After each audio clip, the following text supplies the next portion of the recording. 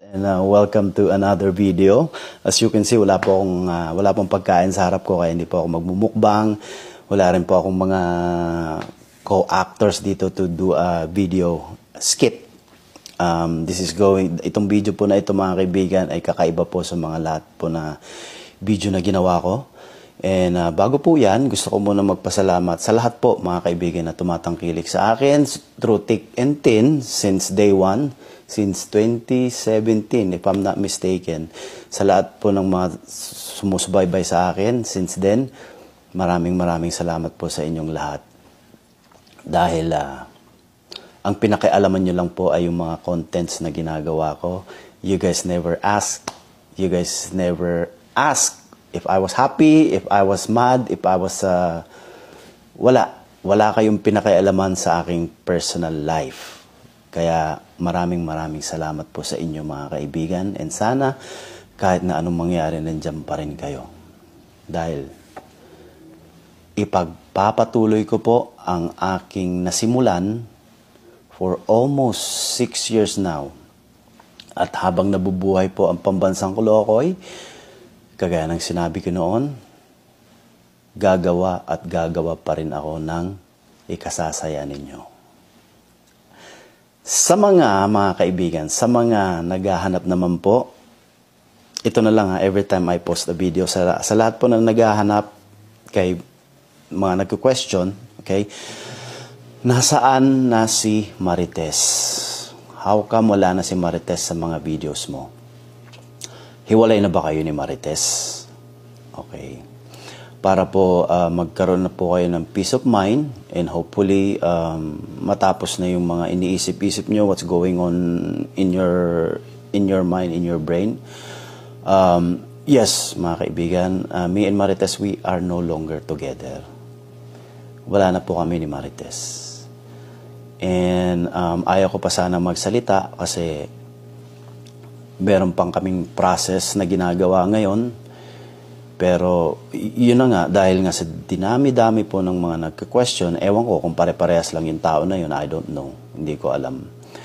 Um, para na rin siguro uh, maliwanagan yung isip ninyo, para na rin, para man na rin manggaling sa akin, kasi yun naman po talaga ang gusto ninyo. How come hindi ako nagre-reply sa mga comments ninyo tuwing hinahanap niyo si Marites? Is because sa akin po sana, what's going on sa aking private, sa aming, sa aming private life, sana hindi na dapat nilalabas sa social media. Unlike other uh, vloggers na they would they would vlog everything about their lives, about about what's going on. But for me sa akin kasi mga best friends, kung good vibes, good vibes lang. There's no there's no drama. Yun po ang para sa akin lang. Pero um, dahil nga non-stop, non-stop ang mga nagtatanong, okay, pagbibigyan ko kayo, ayan, nasabi ko na, me and Marites, we are no longer together. And kung tatanungin nyo naman po, um, am I with someone else? Yes, I'm with someone else now. And um, we're happy. Masaya kami.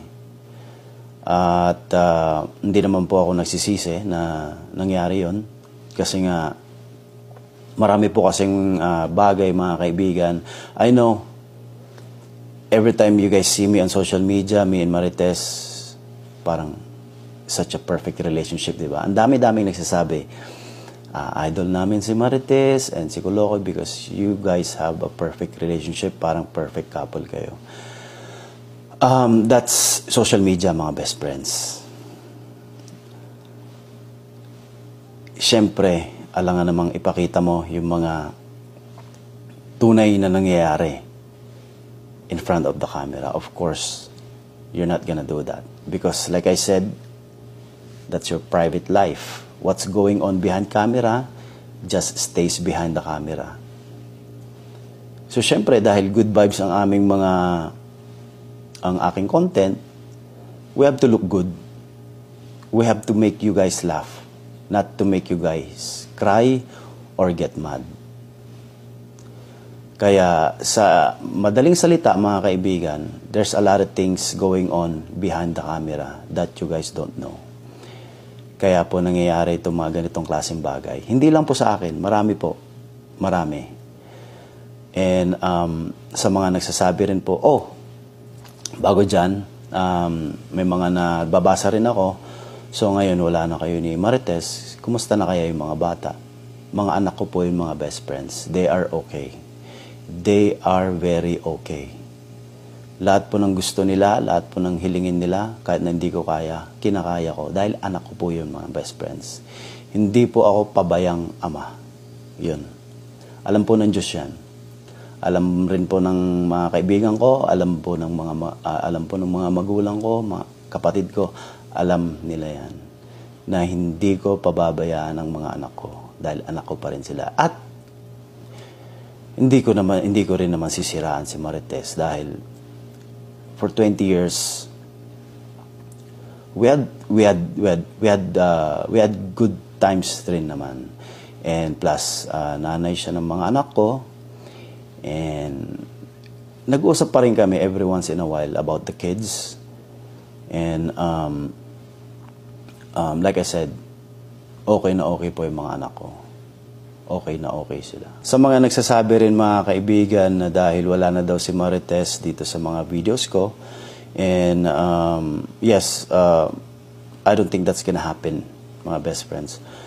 Um, I don't think uh, magkakaroon pa kami ng videos ni video ni Marites.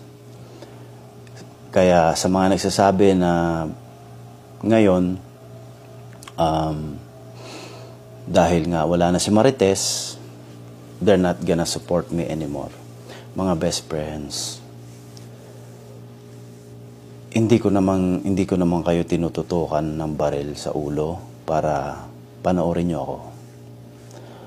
Sa tingin ko naman, um, meron pa din. Siguro nga, mer meron pa din. Meron pa din sigurong susuporta sa akin kahit na wala na si Marites sa videos ko.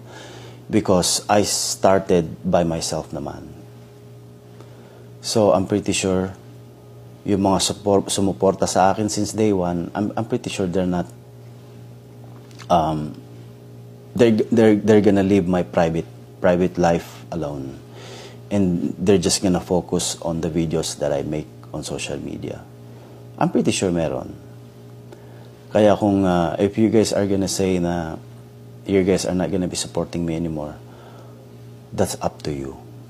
Hindi ko po kayo pinipilit para suportahan ako dahil nga po wala na si Marites. Pero ito lang ang masasabi ko sa mga ano, sa mga matagal nang sumusuporta sa akin.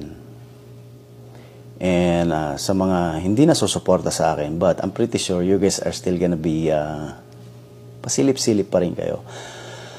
Um, this is not the first video na ano, ilalabas ko on what's going on.